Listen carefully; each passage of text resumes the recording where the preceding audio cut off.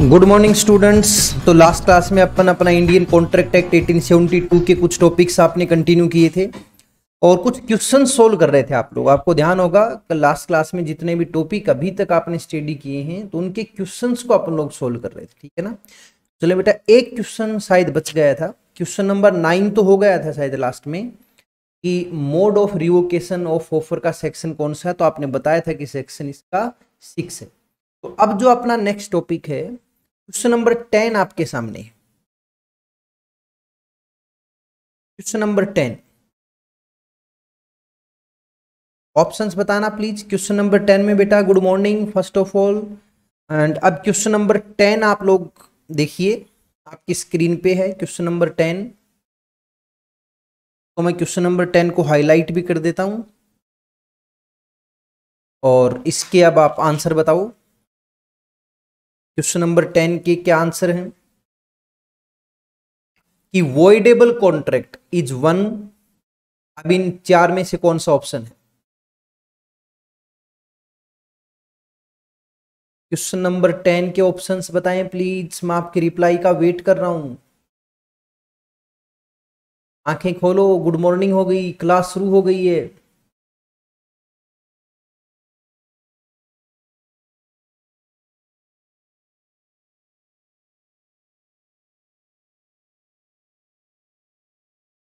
बेटा आंसर देना स्टार्ट करो। अभी सिर्फ़ एक स्टूडेंट का आंसर आया है। वोइडेबल कॉन्ट्रैक्ट चलो, पहले आपको एक बार वोइडेबल कॉन्ट्रैक्ट का मीनिंग बता देता हूँ। देखो वोइडेबल कॉन्ट्रैक्ट वो होता है जिसको एक पार्टी चाहे तो वोइड डिक्लेयर करवा सकती है। कौन सी पार्टी जिसकी कंसेंट फ्री नहीं है। जिस पार्टी की कंसेंट फ्री नहीं है, वो पार्टी यदि चाहे तो उस कॉन्ट्रैक्ट को वोइड डिक्लेयर करवा सकती है। जब तक वो ऑब्जेक्शन नहीं करेगी, तब तक वैलिड है। यानी वोइडेबल कॉन्ट्रैक्ट हुआ जो वोइड डिक्लेयर हो सकता है। वोइड है नहीं अभी बट वोइड डिक्लेयर हो सकता है बाय द कोर्ट यदि वो पार्टी ऑब्जेक्शन करे, जिसकी कंसेंट फ्री नहीं है तो वो कॉन्ट्रैक्ट वोइड डिक्लेयर हो सकता है। अब इन चार में से आपको ऑप्शन ढूंढना है कि voidable contract is one which is lawful या which is invalid which is valid so long it is not avoided by the party entitled to sue और लास्ट में नन ऑफ़ द अबो तो इसमें बेटा आपका ऑप्शन है, अब आप लोग रिप्लाई कम लोग कर रहे हैं प्लीज़ रिप्लाई करें जल्दी जल्दी क्वेश्चन नंबर टेन में. क्वेश्चन नंबर टेन में अब सही रिप्लाई करने स्टार्ट किए हैं मनीष। बेटा डी ऑप्शन नहीं होगा, शिवानी बी सी ऑप्शन बोल, शिवानी बी ऑप्शन बोल रही, बेटा इनवैलिड नहीं होता वोइडेबल कॉन्ट्रैक्ट जब तक आप ऑब्जेक्शन नहीं करोगे, तब तक तो वैलिड है ना? तो सही आंसर होगा इसमें, बिल्कुल सही आंसर दिया आप लोगों ने बाद में ठीक करके, और इसका सही आंसर है सी ऑप्शन कि वॉइडेबल कॉन्ट्रैक्ट वैलिड है, कब तक? So long it is not avoided by the party entitled to do so यानी जब तक जो पार्टी इसको वॉइड डिक्लेयर करवा सकती है जब तक वो पार्टी इसको वॉइड डिक्लेयर नहीं करवाती तब तक तो वैलिड है। हाँ, वो पार्टी दी ऑब्जेक्शन कर देगी फिर कोर्ट उसको वॉइड डिक्लेयर कर देगा तो वॉइड बनेगा। जब तक वॉइड डिक्लेयर नहीं होगा तब तक वैलिड है। ठीक है? तो ये छोटा सा पॉइंट आपको ध्यान रखना है। तो ये कुछ क्वेश्चंस थे और बेटा सारे क्वेश्चंस वो हैं जो आपके एग्ज़ाम में पहले पूछे लिए ध्यान से स्टडी और आज जो अपना नेक्स्ट टॉपिक है सेक्शन इलेवन बेसिकली आप लोग स्टडी करेंगे। और बेटा, आज आपका टॉपिक है सेक्शन इलेवन अपन यहाँ पर स्टडी करेंगे। कि capacity of parties to contract capacity of parties to contract यानी कॉम्पिटेंट पार्टीज़ आपको ध्यान होगा, अपन बार बार एक चीज़ पढ़ते हैं कि कोई भी एग्रीमेंट कॉन्ट्रैक्ट तभी होगा, जब उस कॉन्ट्रैक्ट की पार्टीज़ कॉम्पिटेंट हो। Competent parties. एक वर्ड आपके सामने आता है, कॉम्पिटेंट पार्टीज़। कि एग्रीमेंट करने वाली पार्टीज़ कॉम्पिटेंट होनी चाहिए। अब आप बोलोगे, सर, कॉम्पिटेंट का मीनिंग? तो सेक्शन 11 ने बताया है कि एग्रीमेंट की सभी पार्टी कॉम्पिटेंट ही मानी जाती हैं। कब तक कॉम्पिटेंट मानी जाती हैं? कि एग्रीमेंट करने वाली पार्टी कॉम्पिटेंट ही मानी जाएँगी। वो कब तक? यदि वो पार्टी मेजर है कॉम्पिटेंट पार्टी का मतलब है कि यदि वो पार्टी मेजर है, यानी अटेन मेजोरिटी माइनर नहीं होनी चाहिए। और आपको एज का वो नंबर याद है ना कि कौन सी एज के बाद में माइनॉरिटी नहीं रहती और कब मेजर बन जाते हैं तो बिल्कुल सही है कि जो पर्सन 18 इयर्स कंप्लीट कर लेता है। 18 इयर्स एंड अबो यदि एज का है तो उस पर्सन को अपन क्या बोलेंगे? मेजर और जिसकी एज 18 ईयर से कम होती है को बोलते हैं माइनर तो अटेंड मेजोरिटी तो अटेंड मेजोरिटी का मतलब कितनी एज हो? 18 ईयर्स प्लस यानी 18 ईयर या इससे ज़्यादा. यदि एज हो गई तो इट मीन वो पर्सन मेजर है. और मेजर पर्सन कॉन्ट्रैक्ट कर सकते माइनर पर्सन कॉन्ट्रैक्ट नहीं कर सकते। रूल याद रखना, इसके कई क्वेश्चन मिलेंगे। चलो आपकी नॉलेज के लिए एक छोटी सी चीज़ और बता देते आपसे कोई अभी पूछे कि बेटा माइनॉरिटी कौन सी एज तक रहती है और पर्सन मेजर कब बनता है तो आप यही बोलोगे कि सर 18 ईयर्स तक। और ये आंसर सही भी है। एक ऐसी सिचुएशन जिसमें मेजोरिटी 21 ईयर कंप्लीट होने पर आती है। हाँ एक ऐसी सिचुएशन है जिसमें 21 ईयर कंप्लीट होंगे ना आपके, तब आप मेजर बनो। ऐसा कोई पर्सन ऐसा कोई पर्सन जिसके नेचुरल गार्जियंस पेरेंट्स नहीं रहे, भगवान ना करे किसी बंदे के, और पेरेंट्स की डेथ हो गई, और उसकी फैमिली में और कोई नहीं। तो फिर कोर्ट उसका गार्जियन अपॉइंट करता है। कोर्ट उसका लीगल गार्जियन अपॉइंट करता है। और उस केस में उसकी मेजोरिटी 21 ईयर कंप्लीट होने पर होगी। तो जनरली तो यही बोलते हैं अपन कि मे, कोई भी पर्सन मेजर तब बनता है जब वो 18 ईयर्स कंप्लीट करे।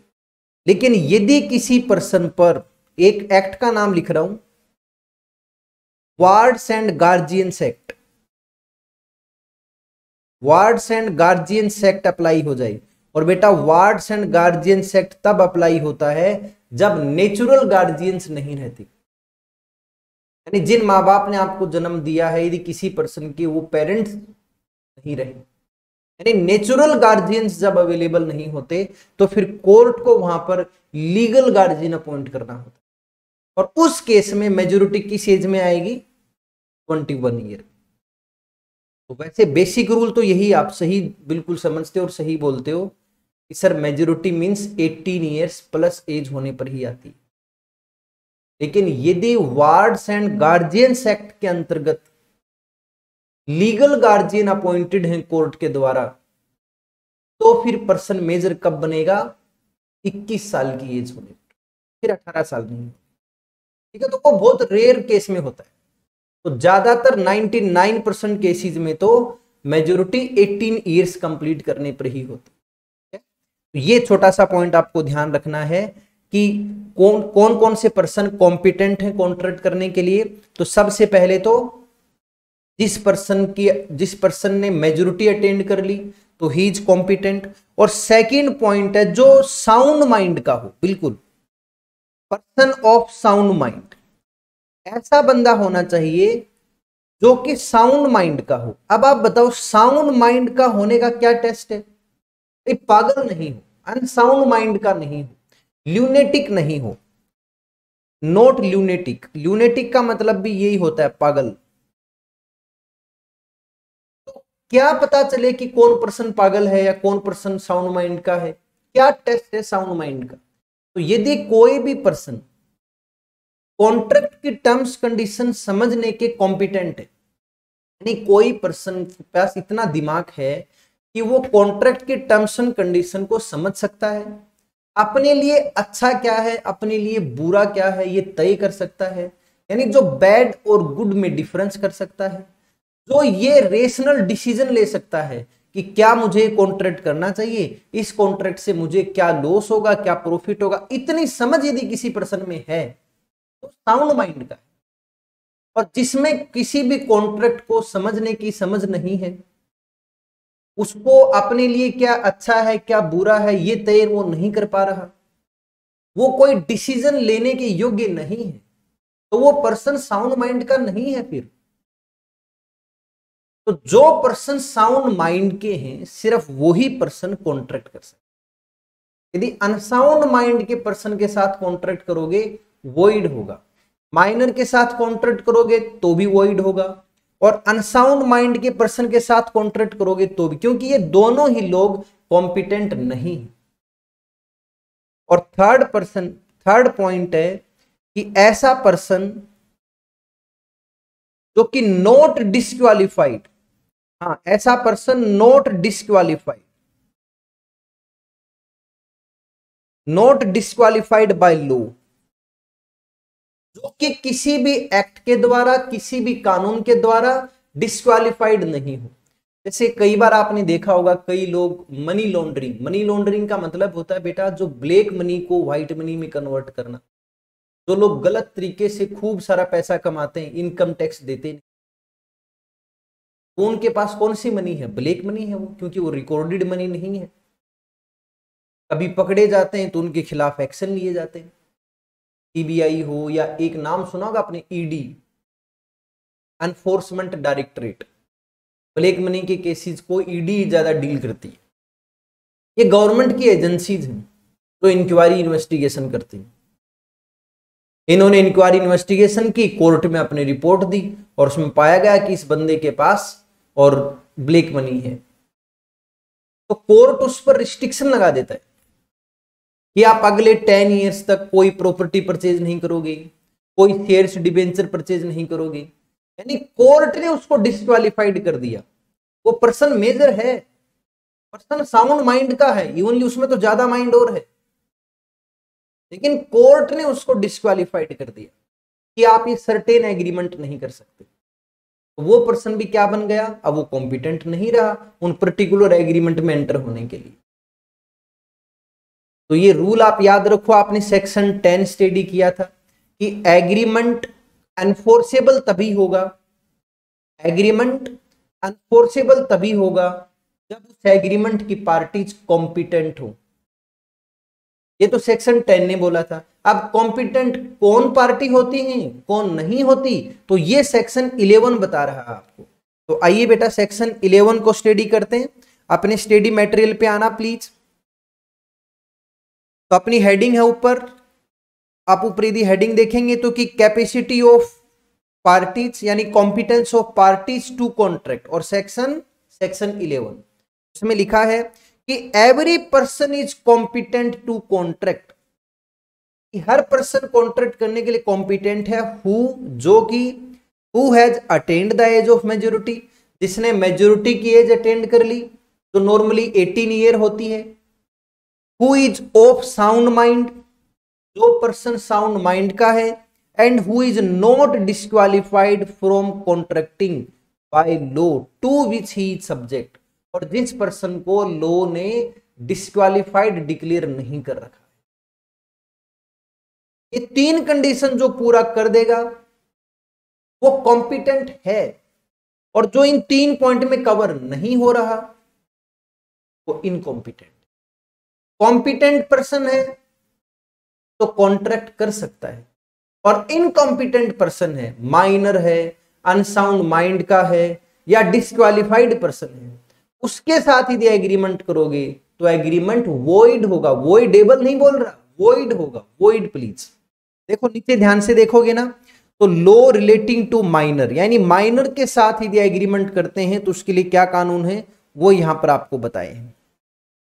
तो सबसे पहले एक रूल है बेटा, याद रख लेना और इस केस का नाम भी याद रखना कि कॉन्ट्रैक्ट मेड विद और by minor is void ab initio एक वर्ड लिखा होगा वोइड अब इनिशियो अब इनिशियो का मतलब होता है from the beginning from the starting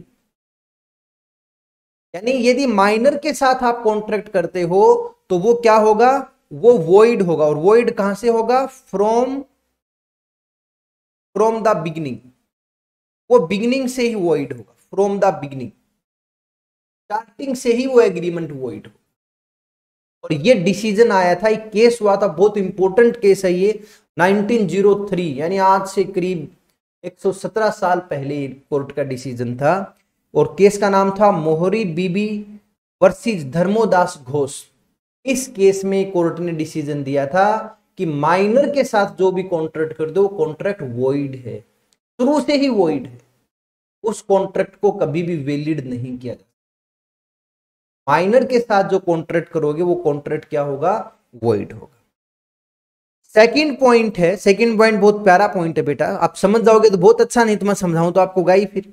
कि माइनर कैन नॉट रेटिफाई अब एक वर्ड आ रहा बेटा रेटिफाई देखो रेटिफाई का मतलब होता है कंफर्म करना। जैसे कोई पर्सन है माइनर है, वो उसकी एज सेवनटीन ईयर है। यानी जब उसने एग्रीमेंट किया, तब उसकी एज कितनी है? सेवनटीन ईयर एक साल के बाद वो मेजर हो गया। उसने एग्रीमेंट तो माइनॉरिटी के दौरान किया था ना। अब वो मेजर होने के बाद बोल रहा है कि मैंने मेरे माइनॉरिटी में जो जो एग्रीमेंट किए थे, मैं उनको मानने को तैयार हूँ। यानी मेजर होने के बाद वो अपनी माइनॉरिटी के दौरान किए हुए एग्रीमेंट को कंफर्म कर रहा है रेटिफाई कर रहा है। तो क्या वो एग्रीमेंट वैलिड हो जाएँगे? याद रखना, कभी नहीं। जो एग्रीमेंट वोइड शुरू से ही वोइड है, उसको बाद में रेटिफाई रेटिफाई का मतलब होता है, बेटा कंफर्मेशन आप उसको बाद में कंफर्म नहीं कर सकते।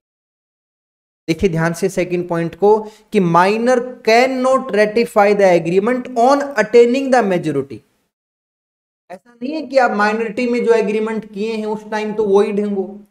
लेकिन मेजर होने के बाद उन्हीं एग्रीमेंट को आप कंफर्म कर दो कि भाई उस टाइम मैं माइनर था, इसलिए मेरे साथ जो एग्रीमेंट किए गए उस टाइम वोइड थे बट अब मैं मेजर हो गया।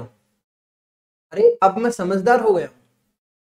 और अब मैं ये कंफर्म कर रहा हूँ कि मैंने मेरी माइनॉरिटी में जो एग्रीमेंट किए थे, मैं उनको मानने को तैयार हूँ, मैं उनको मेरी अप्रूवल दे रहा हूँ। आप ऐसा नहीं कर सकते। क्यों?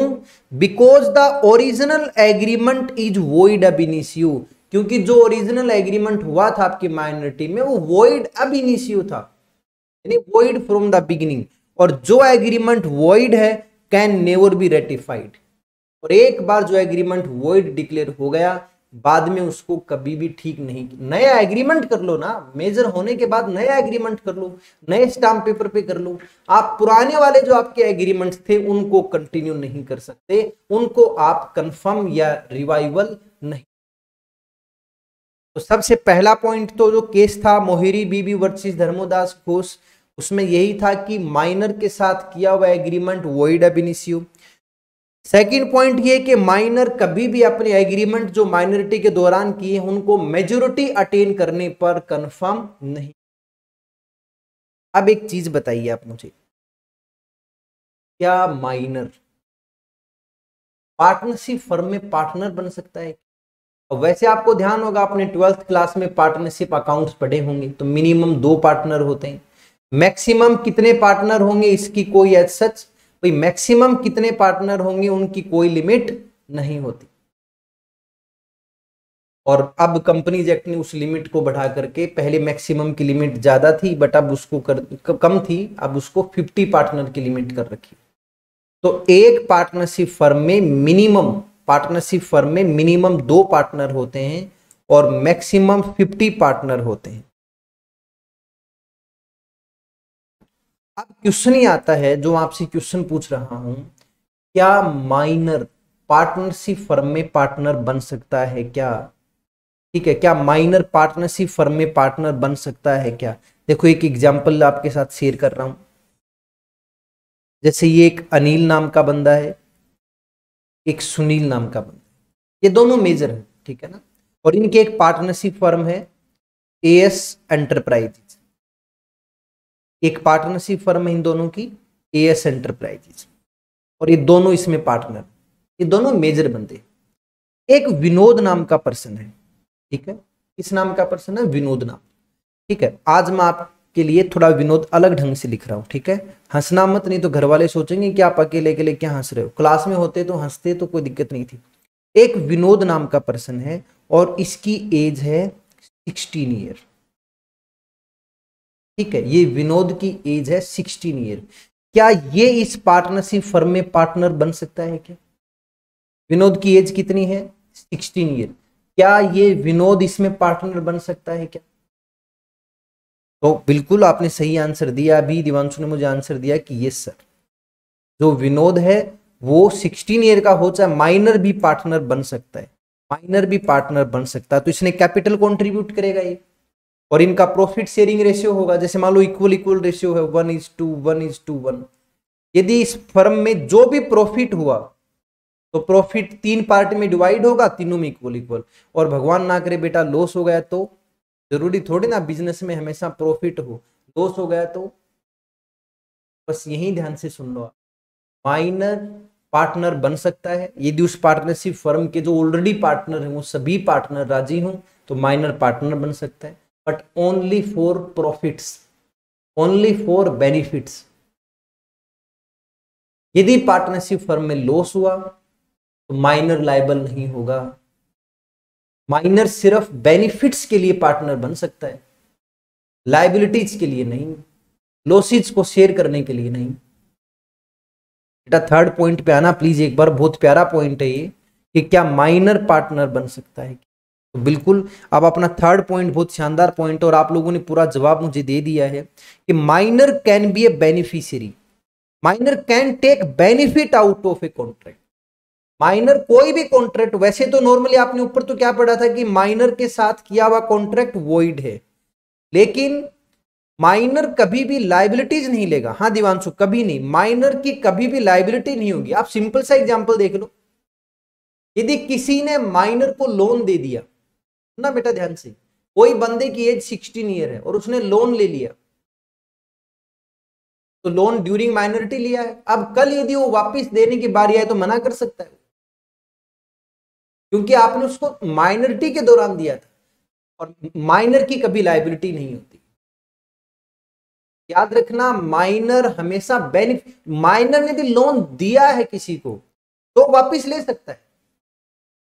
लेकिन किसी ने माइनर को लोन दिया है तो कोई माइनर से लोन मांग नहीं सकता। मांगेगा तो मना कर देगा। तो आप कोर्ट में नहीं जा सकते। क्यों? क्योंकि एग्रीमेंट तो वॉइड है। बड़े ध्यान से पढ़ना कि minor can be a beneficiary minor can take benefit किसी भी कॉन्ट्रैक्ट में यदि माइनर को बेनिफिट तो है तो तो एग्रीमेंट वैलिड है। और वैलिड भी कहाँ तक है? जहाँ तक माइनर को बेनिफिट है। और यदि उस एग्रीमेंट या कॉन्ट्रैक्ट से माइनर पे कोई लाइबिलिटी आ रही है माइनर को कोई लॉस हो रहा है एग्रीमेंट वॉइड यानी क्लियरली यहाँ पर इंडियन कॉन्ट्रैक्ट एक्ट ने किसका फेवर किया है? माइनर आगे लिखा भी है कि minor can not become partner in a partnership firm generally minor किसी फर्म क्योंकि माइनर कॉन्ट्रैक्ट नहीं कर सकता तो पार्टनर कहाँ से बनेगा? लेकिन he may with the consent of all the partners यदि उस पार्टनरशिप फर्म के सभी पार्टनर कंसेंट दें तो he may be admitted as partner उसको पार्टनर के रूप में किसी चलती हुई पार्टनरशिप फर्म में ऐड कर सकते हैं to the benefits of the partnership only partnership के दोस्त के लिए नहीं। तो याद रखो माइनर कभी भी लॉस या लाइबिलिटी वाले कॉन्ट्रैक्ट नहीं लेगा। माइनर सिर्फ़ प्रॉफिट्स या बेनिफिट्स शेयर करने के लिए कोई एग्रीमेंट का या किसी पार्टनरशिप फर्म का हिस्सा बन सकता और नेक्स्ट पॉइंट है माइनर को कभी भी इंसोल्वेंट डिक्लेयर नहीं किया जाएगा। Minor can not be adjudged adjudged यानी डिक्लेयर्ड कभी भी माइनर को इंसोल्वेंट डिक्लेयर नहीं करेगा। क्योंकि जब वो कॉन्ट्रैक्ट ही नहीं कर सकता तो उसकी लाइबिलिटी कहाँ से हुई? आप जानते हो ना इंसोल्वेंट कौन होता है? जिस पर्सन की लाइबिलिटी ज़्यादा हो जाए और एसेट कम, तब वो इंसोल्वेंट होता है। तो माइनर की तो लाइबिलिटी होंगी ही नहीं। तो इंसोल्वेंट कैसे होगा? इसलिए कभी भी माइनर इंसोल्वेंट डिक्लेयर नहीं होगा। और लास्ट पॉइंट है, बहुत प्यारा पॉइंट है, कि यदि कभी ऐसा हो कि दो लोगों ने ज्वाइंट में किसी से एग्रीमेंट किया है, यानी दो ज्वाइंटली लोगों ने मिलकर के किसी से एग्रीमेंट किया है ज्वाइंट बैंक अकाउंट होता है। तो बिल्कुल तो माइनर का और अडल्ट एक माइनर है और एक अडल्ट दोनों ने मिलकर के किसी थर्ड पर्सन से कॉन्ट्रैक्ट किया। ध्यान रखना अब उस कॉन्ट्रैक्ट में यदि बेनिफिट हो रहे हैं तो ज्वाइंट पर्सन दोनों शेयर करेंगे। और यदि लॉस हुआ तो तो माइनर नहीं करेगा। जो अडल्ट पर्सन है, यानी जिसकी एज एटीन ईयर्स है वो सिर्फ़ वो उन लॉसेज को बियर करेगा। लास्ट पैराग्राफ बेटा, ध्यान से पढ़ना। कि where a minor and an adult person यानी यदि माइनर और adult person enters into agreement यदि वो किसी एग्रीमेंट में एंटर होते हैं विद अनदर पर्सन किसी थर्ड पर्सन के साथ तो माइनर इज़ नॉट लाइबल और कॉन्ट्रैक्ट यदि अनफोर्स करना हुआ तो सिर्फ़ उस मेजर पर्सन के अगेंस्ट में ही तो इन सभी पॉइंट को स्टडी करके आप इस कंक्लूजन पर पहुँच रहे माइनर साथ कोई भी कॉन्ट्रैक्ट आप होगा। माइनर मेजर होने के बाद भी अपनी माइनरिटी के दौरान किए हुए एग्रीमेंट्स को रेटिफाई नहीं कर सकते। रेटिफाई नहीं। हाँ माइनर किसी भी पार्टनरशिप फर्म, पार्टनर एडमिट हो सकता है, यदि उस पार्टनरशिप फर्म के जो ऑलरेडी पार्टनर्स हैं पहले से, उस सभी पार्टनर्स, मेजोरिटी नहीं, ऑल द पार्टनर्स यदि कंसेंट दे दें तो माइनर उस पार्टनरशिप फर्म में बेनिफिट शेयर करने के लिए प्रॉफिट शेयर करने के लिए पार्टनर एडमिट हो सकता है। माइनर कभी भी लाइबिलिटी यानी लॉस और लाइबिलिटी के लिए माइनर कभी भी पार्टनर नहीं बन सकता और माइनर कभी इंसोल्वेंट भी डिक्लेयर नहीं। जहाँ तक के प्रोविज़न समझ में आ गई? अरे, यहाँ तक के टॉपिक माइनर और माइनर से रिलेटेड प्रोविज़न समझ में आ गए? बेटा रिप्लाई दो please I am waiting for your replies यहाँ तक के प्रोविज़न समझ में आ गए? चलो ठीक है thank you thank you very much अब अपना नेक्स्ट टॉपिक करते हैं बेटा। अब आता है अनसाउंड अब तो माइनर का सेक्शन कौन सा था ये सबसे पहले? तो ये अपन सेक्शन इलेवन में पढ़ रहे थे कि पर्सन ने मेजोरिटी अटेंड की। अब अपना सेकेंड पॉइंट आता है कि वो अनसाउंड माइंड का नहीं होना चाहिए, बिल्कुल। देखो नेक्स्ट अपना जो टॉपिक है वो यही है कि अनसाउंड माइंड का नहीं होना चाहिए। एग्रीमेंट करने वाले जो पार्टीज़ हैं, वो अनसाउंड माइंड की नहीं और बेटा बताओ, आप क्या पता चलेगा कि कौन अनसाउंड माइंड का है या कौन साउंड माइंड का है? एक ही टेस्ट है कि जो पर्सन कॉन्ट्रैक्ट करते टाइम कॉन्ट्रैक्ट की टर्म्स एंड कंडीशंस को जज कर सकता है एनालिसिस कर सकता है, अपने लिए क्या अच्छा है, क्या बुरा है, ये फैसला कर सकता है तो वो पर्सन साउंड माइंड का हो। और जिसमें इतनी कैपेबिलिटी नहीं होती तो वो बंदा अनसाउंड माइंड का हो। तो आना इस टॉपिक पर। कि एग्रीमेंट करने के लिए जो पर्सन है वो अनसाउंड माइंड का नहीं होना चाहिए।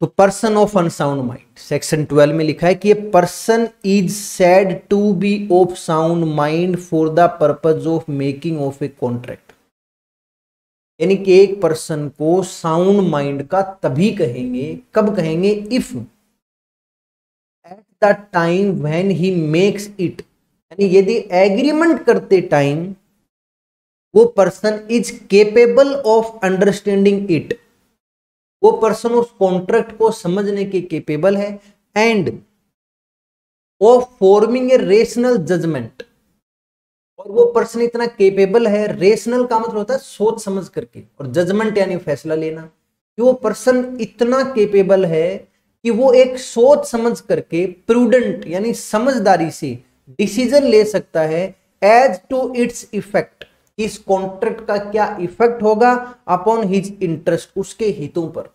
यानी यदि कोई पर्सन अपने इंटरेस्ट को प्रोटेक्ट कर सकता है, ये समझ सकता है, ये जजमेंट कर सकता है कि मैं जो कॉन्ट्रैक्ट करने जा रहा हूँ, उस कॉन्ट्रैक्ट का मेरे इंटरेस्ट पर, यानी मेरे जो पर्टिकुलर पार्ट पे इसका क्या पॉजिटिव नेगेटिव इफ़ेक्ट होगा।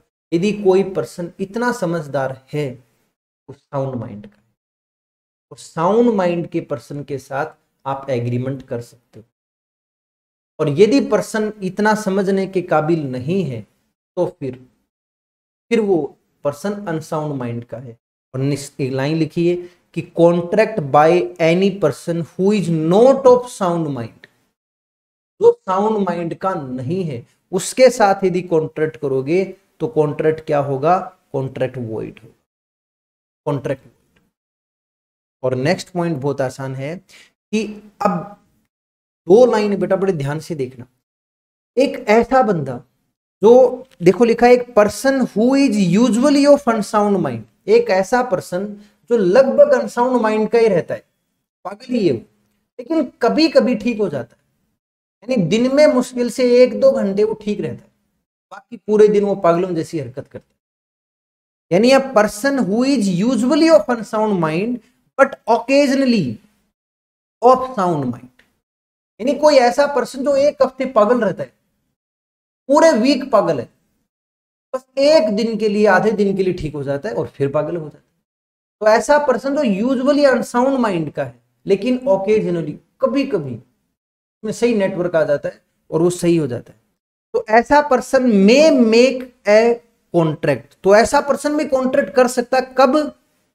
When he is of sound mind तो जिस वो एक दिन या आधे दिन सही हुआ ना, उस ड्यूरेशन में एग्रीमेंट कर सकता अब ये बड़ा डिबेट वाला पॉइंट रहेगा कि उसने एग्रीमेंट किया, तब ठीक था, ये कौन सर्टिफाई करे? ठीक है ना? बट लो ने तो देखो अपना प्रोविज़न बना दिया। अब वो आगे फिर कोर्ट में झगड़ते रहो, वो अलग बात है। तो रूल याद रखो कि ये पर्सन जो यूजुअली अनसाउंड माइंड का है बट ओकेजनली कभी कभी वो ठीक हो जाता है। तो वो पर्सन उस वक्त कॉन्ट्रैक्ट कर सकता है जब वो ठीक हो जाता है। और नेक्स्ट लाइन इसी की रिवर्स है कि एक ऐसा person who is usually of sound mind एक ऐसा पर्सन जो ज़्यादातर ठीक रहता है। कभी कभी एक दो दिन पागल हो जाता है, बाकी लगभग वो ठीक रहता है। तो वो person but occasionally of unsound mind तो वो पर्सन भी एग्रीमेंट कर सकता है जब वो साउंड माइंड की सिचुएशन तो दोनों पॉइंट को पढ़ करके आप एक ही कंक्लूजन पे आते हो कि पर्सन जब साउंड माइंड की स्टेटस में है कॉन्ट्रैक्ट कर सकता है। और जब वो अनसाउंड माइंड की स्टेटस में है कॉन्ट्रैक्ट नहीं कर क्योंकि अनसाउंड माइंड की स्टेटस में रह करके यदि एग्रीमेंट करेगा तो वो एग्रीमेंट अपना, अपने ऊपर पढ़ लिया, वो एग्रीमेंट क्या होगा? वो एग्रीमेंट वॉइड होगा। क्योंकि अनसाउंड माइंड के पर्सन के साथ यदि कॉन्ट्रैक्ट करोगे तो वो कॉन्ट्रैक्ट वॉइड होता है कॉन्ट्रैक्ट वैलिड नहीं। ये आपको यहाँ पर कौन से सेक्शन ने बताया? सेक्शन ट्वेल्व ने बताया। यहाँ तक आपको कोई टॉपिक समझ में आया हो तो बताओ। माइनर और अनसाउंड माइंड के पर्सन से रिलेटेड कोई टॉपिक समझ में आया? अरे, समझ में आया क्या? भगवान बोल ही नहीं रहे। अरे, जवाब दो। ठीक है ठीक है, समझ में आ गया। Okay thank you thank you thank you आ गया सर यस सर सर आ गया ए अब कुछ और पर्सन है। देखो, मैंने आपको तीन चीज़ बताई थी ना minor is not competent unsound mind का पर्सन इज़ नॉट कॉम्पिटेंट और कुछ अदर डिस्क्वालिफाइड पर्सन है। कुछ और ऐसे लोग हैं जिनको कॉन्ट्रैक्ट करने के लिए डिस्क्वालिफाइड डिक्लेयर कर रखा है। आप बोलोगे, सर, वो महान आत्माएँ कौन कौन है? तो आना अपने नोट्स पर। एलिन एनेमी ये कौन होता है? एलिन का मतलब होता है फॉरेनर यानी ऐसा पर्सन जो किसी दूसरी कंट्री का रेजिडेंट हो। तो पर्सन ऑफ़ अदर कंट्री और एनिमी क्यों बोला है? क्योंकि उस कंट्री के साथ अपने रिश्ते अच्छे नहीं है। अब जैसे मान लो भगवान नहीं करे, यदि भारत और पाकिस्तान के बीच में युद्ध स्टार्ट हो जाए, या भारत और चाइना के बीच में कोई युद्ध स्टार्ट हो जाए तो आप दोनों कंट्रीज़ के फ्रेंडली रिलेशन खत्म। तो अब चीन और भारत के लोग एग्रीमेंट नहीं कर सकते, या पाकिस्तान या भारत के लोग एग्रीमेंट नहीं कर सकते। ड्यूरिंग वॉर क्योंकि जब तक युद्ध रहता है, तब तक उस कंट्री के रेजिडेंट जो आपके अपोजिट कंट्री उस कंट्री के रेजिडेंट आपके फ्रेंड नहीं हो सकते। तो एलियन एनिमी जो होते हैं, यानी person of other country resident of other country जिसके साथ अपने इंडिया के अभी इनेमी रिलेशन यानी कोई वॉर चल रहा है तो उस ड्यूरेशन में आप उस पर्सन से एग्रीमेंट करोगे तो वोइड तो एलिन एनिमी के साथ यदि कॉन्ट्रैक्ट करते हैं तो वॉइड होता है। बेटा, एक शब्द लिख रहा हूँ, ध्यान से देखना। या आगे आपको क्वेश्चन भी मिल सकते हैं इसके। एलिन फ्रेंड के साथ। देखो एलिन एनिमी के साथ कॉन्ट्रैक्ट करोगे तो तो वॉइड होगा। इसके साथ एग्रीमेंट किया तो कैसा हुआ? वॉइड और एलिन फ्रेंड के साथ एग्रीमेंट करोगे तो? एलिन फ्रेंड का मतलब ऐसा पर्सन जो किसी अदर कंट्री का है। लेकिन उस कंट्री से अपने कोई एनिमी रिलेशन नहीं है। एनिमी रिलेशन नहीं है अपने अच्छे रिश्ते हैं उसके साथ। उसके साथ एग्रीमेंट करोगे तो ये वैलिड होगा। फॉरेनर के साथ एग्रीमेंट होते ही ना, अपन इंपोर्ट एक्सपोर्ट नहीं करते क्या? तो एलेन फ्रेंड के साथ एग्रीमेंट तो वैलिड है और एलेन एनेमी के साथ एग्रीमेंट वॉइड है। ठीक है, ध्यान रखना बेटा, इसकी क्वेश्चन मिल सकते हैं आप ऑब्जेक्टिव तो क्वेश्चंस को ध्यान से पढ़ना। एलन एनेमी पूछा है तो तो एग्रीमेंट वॉइड होगा। और एलन फ्रेंड बोला है तो तो वैलिड होगा। ठीक है? दूसरे, जितने भी फॉरेन अम्बेसडर्स हैं फॉरेन अम्बेसडर्स हैं, अब आपको ध्यान होगा, जैसे अपने यहाँ पर भी और अपनी, अपने भी जिनको अपन राजदूत बोलते हैं, यानी अलग अलग कंट्रीज़ के रिप्रेजेंटेटिव इंडिया में रहते हैं। अमेरिका का भी एक रिप्रेजेंटेटिव इंडिया में है, दिल्ली में उनका ऑफ़िस होता है, वहीं रेजिडेंस होता है। जापान का भी होगा, चाइना का भी होगा, पाकिस्तान का भी होगा। जितने भी अदर कंट्रीज़ हैं, जिनके साथ अपने ट्रेडिंग रिलेशन हैं या जो भी इंटरनेशनल रिलेशन अपन मेंटेन रखते हैं तो उन कंट्रीज़ के अपने यहाँ पर फॉरेन अम्बेसी होती है।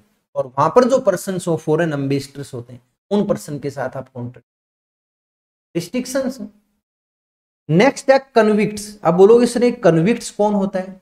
ऐसा पर्सन जिसने कोई अपराध किया हो, जिसने कोई मर्डर किया, कोई भी क्राइम किया, और जिसकी उसको सजा मिल चुकी है, जेल में है वो। देखो आगे मैंने मीनिंग भी लिखा है कि a person undergoing any imprisonment imprisonment यानी जिसको जेल हो रखी है, और अभी वो जेल में है, दो साल, पाँच साल, दस साल या लाइफ टाइम जो भी। तब तक वो जेल में है नेक्स्ट है बेटा, जो पर्सन इंसोल्वेंट डिक्लेयर हो गया। तो इंसोल्वेंट डिक्लेयर होने के बाद उस पर्सन के सारी एसेट्स को कंट्रोल करने के लिए लाइबिलिटी को पे करने के लिए कोर्ट एक बंदा अपॉइंट करता है। इसको रिसीवर बोलते हैं मैनेजर होता है वो इस इंसोल्वेंट का। उसका काम है इस इंसोल्वेंट पर्सन के एसेट्स को सेल करना और इसके लाइबिलिटी को पे करना। जो पर्सन इंसोल्वेंट डिक्लेयर हो चुका है जिसकी एसेट सेल हो रही है जिसके लाइबिलिटीज को पे किया जा रहा है, उस ड्यूरेशन में वो पर्सन एग्रीमेंट नहीं। लास्ट तो खैर आप समझ जाओगे ड्रंकन ऐसा पर्सन जिसने खूब ड्रिंक कर रखी है, या इंटॉक्सिकेटेड जो ड्रग्स का सेवन करता है, जो लोग ड्रग्स लेते हैं रेगुलरली तो उनका वैसे भी साउंड माइंड खत्म हो जाता है। वो वैसे भी अनसाउंड माइंड की कैटेगरी में आ जाए। क्योंकि जो ड्रंकन है या इंटॉक्सिकेटेड है तो उसका जो साउंड माइंड स्टेटस है, वो खत्म हो जाता है। तो उस पर्सन के साथ क्या एग्रीमेंट उसको समझ ही नहीं होती। उसको खुद की समझ नहीं होती वो कहाँ है। उसको भूख लगी है, नहीं लगी, कहाँ पड़ा है अच्छा है, बुरा। जो यही नहीं समझ पाएगा, वो क्या कॉन्ट्रैक्ट करे तो जो ड्रंकड पर्सन है, या जो इंटॉक्सिकेटेड पर्सन है, जिन्होंने खूब सारी ड्रग्स ले रखी, उन पर्सन के साथ वैसे भी ये लोग अनसाउंड माइंड के होते हैं। तो इनके साथ आप एग्रीमेंट नहीं कर एग्रीमेंट करोगे तो जनरली वॉइड ये तो आपने आज स्टडी किया कि कौन कौन लोग एग्रीमेंट करने के लिए कॉम्पिटेंट माइनर नहीं हो अनसाउंड माइंड का नहीं हो और डिस्क्वालिफाइड नहीं हो तो कॉम्पिटेंट कॉम्पिटेंट है तो कॉम्पिटेंट पर्सन के साथ यदि एग्रीमेंट करोगे तो वैलिड है। और इनकॉम्पिटेंट पर्सन के साथ एग्रीमेंट करोगे वो वॉइड तो होना ही। तो ये अपना एक बेसिक एलिमेंट था। एक पॉइंट और आता, आपको ध्यान होगा वैसे थोड़ा बहुत पहले पढ़ चुके हैं कि जो भी पर्सन एग्रीमेंट करे, जो भी पर्सन एग्रीमेंट करे तो पार्टीज़ टू द एग्रीमेंट जो है, उनकी कंसेंट फ्री होनी चाहिए। यानी एग्रीमेंट करने वाली पार्टीज़ पर किसी भी टाइप का बर्डन नहीं, दबाव नहीं। एग्रीमेंट करने वाली पार्टीज़ ने अपनी मर्ज़ी से अपनी इच्छा से वो एग्रीमेंट किया हो, उन पर किसी भी टाइप का दबाव नहीं होना चाहिए। किसी भी टाइप का प्रेशर नहीं होना चाहिए। यदि आप किसी को डरा धमका करके, किसी प्रेशर में लेकर के, यदि उससे उसकी कंसेंट लेते हो, उसकी सहमति लेते हो तो कंसेंट तो है वो। कंसेंट तो है, उसने के कारण उसने साइन तो कर दिए होंगे कि ठीक है भाई, मैं आपके साथ ही एग्रीमेंट कर रहा हूँ। बट क्या ये कंसेंट फ्री है? नहीं है। और यदि कंसेंट फ्री नहीं है तो एग्रीमेंट वैलिड नहीं वैलिड नहीं होगा फिर एग्रीमेंट यदि कंसेंट फ्री नहीं तो एग्रीमेंट वैलिड नहीं। एग्रीमेंट कैसा होगा? वोइडेबल ना ना वोइड भी नहीं वोइडेबल वोइडेबल एग्रीमेंट एक ही कारण से तो बनता है। यदि पार्टीज़ की कंसेंट फ्री नहीं तो वोइडेबल होगा। तो आज अपनी फ्री कंसेंट कब कहते हैं? किस चीज़ को फ्री कंसेंट कहते हैं? इसके रिगार्डिंग पढ़ेंगे। तो सबसे पहले सेक्शन 13 को स्टडी करते हैं। सेक्शन 13 ने लिखा है कि two or more person are said to consent कि दो या दो से ज़्यादा लोग सहमत हैं, ये तभी कहेंगे when they agree upon the same thing in the same sense यदि वो किसी पर्टिकुलर चीज़ को सेम सेंस में और सेम थिंग को एग्री करते यानी अनिल ने बोला कि भाई मैं मेरा मकान सेल करना चाहता हूँ एट्टी लैख में। मकान यहाँ पर थिंग है एक तरह से। और सुनील ने बोला कि हाँ भाई ठीक है, मैं आपका ये मकान इतने में परचेज तो सेम सेंस में एग्री हैं। परचेज सेल में एग्री हैं और सेम थिंग तो जब दोनों पार्टीज़ की कंसेंट सेम सेंस और सेम थिंग के लिए हो, यानी वॉल्यूंटरली हो, बिना किसी दबाव के हो, अपनी मर्ज़ी से हो तो ये मान लेना कि उन पार्टीज़ की कंसेंट फ्री है। ये जो वर्ड है ना बेटा same thing and same sense को बता देता हूँ। सेम थिंग सेम सेंस इसका एक लेटिन वर्ब है और वो है consensus consensus ad idem idem भी बोल देते कई बार क्वेश्चन आ सकता है कि कंसेंसस एड आइडम जैसे अभी एक वर्ड आया था ना वोइड अब इनिशियो अब इनिशियो ये क्या लेटिन वर्ब है ये? अब इनिशियो है ना ये? ये लेटिन वर्ब है। ये जनरल इंग्लिश नहीं है। ये लेटिन इंग्लिश है। लो में कई बार ऐसे वर्ड मिलेंगे। तो इसका मतलब तो मैंने क्या बताया था? From the starting from the beginning और इसका मतलब क्या है? कंसेंसस यानी consent in the same sense ad idem for same thing यानी same thing in the same sense यदि है तो ये मान लेना कि कंसेंट कौन सी है? कंसेंट फ्री बेटा, इसका क्वेश्चन आ सकता है कि कंसेंट एड आइटम का मीनिंग क्या है? और नीचे चार ऑप्शन मिल जाएँगे। कि consent in the same sense और द सेम थिंग या डिफरेंट सेंस सेम थिंग इस टाइप से आपको चार ऑप्शन मिल जाए तो आपको ध्यान रखना है कि यदि किसी कॉन्ट्रैक्ट में दोनों पार्टीज़ की सेम सेंस में और सेम थिंग के लिए कंसेंट हो तो कंसेंट क्या कहलाएगी? फ्री कंसेंट और आगे लिखा भी है ये। सेक्शन 14 के अकॉर्डिंग यदि सेक्शन 14 को स्टडी करें तो consent is said to be free कि कंसेंट फ्री ही होती है when it is not caused by यदि कंसेंट इन पाँच रास्तों से नहीं होनी चाहिए। ये फाइव वे हैं। इन फाइव वेज के अलावा यदि कंसेंट है तो फ्री है। और यदि consent is obtained by these means तो फिर वो कंसेंट फ्री नहीं ध्यान से देखना कि consent is said to be free section 14 को स्टडी कर रहे हैं, कि consent is said to be free when it is not caused by coercion किसी को डराना, धमकाना। यदि आप किसी को डरा, धमका करके यदि उसकी कंसेंट ले रहे हो तो वो कंसेंट फ्री नहीं है फिर। फिर वो कंसेंट फ्री नहीं है। अनड्यू इन्फ्लुएंस किसी पर मोरल प्रेशर बना करके फ्रॉड करके, या फैक्ट्स को मिसरिप्रेजेंट करके, या बाय मिस्टेक इन पाँचों पॉइंट को अब अपन नीचे पढ़ेंगे। सबसे अच्छी चीज़ ये है कि इन ये जो फाइव पॉइंट्स है ना coercion and influence fraud misrepresentation और मिस्टेक इन सभी को अपन नीचे स्टडी एक एक एक एक करके इनको स्टडी सबसे पहले श्री गणेश करते हैं कोयरसन से। इसलिए कोयरसन क्या होता है? देखो कोयरसन का मतलब होता है, आप किसी को धमकी देते हो, कि या तो आप मेरे साथ ये एग्रीमेंट कर लो। जैसे मान लो किसी के पास बहुत अच्छी गाड़ी है, जैसे एक कोई अनिल नाम का पर्सन है, इसके पास एक बहुत अच्छा मकान है ये एक अनिल नाम का पर्सन है, अनिल का एल लिखना भूल गया, यहाँ लिख देता हूँ। ये एक अनिल नाम का पर्सन इसके पास एक हाउस प्रॉपर्टी है, इसके पास एक शानदार मकान है। और इस पर सुनील की नज़र है। सुनील चाहता है कि यार ये मकान मुझे मिल जाए। इस मकान की करीब कीमत है टू करोड़ रुपीज़ दो करोड़ रुपए की कीमत है इस मकान की। लेकिन सुनील ने अनिल पर प्रेशर बनाया कि या तो ये मकान तू मुझे थर्टी लाख में सेल करने का एग्रीमेंट कर ले। एग्रीमेंट कर ले कि हाँ मैं अनिल, मेरा ये मकान तीस लाख रुपए में सुनील को बेचना चाहता तो साइन कर दे और मैं ऑफ़र को एक्सेप्ट कर दो। करोड़ रुपए का मकान तीस लाख में। ये सुनील ने सनील को बोला कि या तो ये मकान मुझे तीस लाख में सेल कर दे, नहीं तो मैं देख, या तो तुझे, या तेरे किसी फैमिली मेंबर को, या किसी प्रॉपर्टी को मैं नुकसान पहुँचा दू। तो यदि अब यहाँ पर सुनील क्या कर रहा है? सुनील, अनिल को थ्रिएटनिंग थ्रिएटनिंग मीन्स बेटा धमकी देना। या कोई ऐसा एक्ट कर रहा है जैसे सुनील ने इस अनिल के किसी फैमिली मेंबर को किडनैप कर लिया? या इसकी और कोई वैल्यूएबल प्रॉपर्टी को फोरफिट कर लिया? और ये बाहुबली है, नहीं छोड़ रहा। तो बेचारा अनिल डर के मारे और ठीक है, अपनी कंसेंट दे देता है। ठीक है भाई, मैं मेरा दो करोड़ का मकान और तीस लाख में बेचने को तैयार क्योंकि इंडियन कॉन्ट्रैक्ट सिर्फ़ इतना बोलता है कि कंसिडरेशन होनी चाहिए। इनएडिक्वेट और एडिक्वेट की तो बात ही नहीं करता। तो यहाँ पर अनिल ने कंसेंट तो दी, लेकिन क्या वो कंसेंट फ्री है? नहीं है। तो यहाँ सुनील ने कंसेंट ऑबटेन की, प्राप्त की। और कैसे प्राप्त की?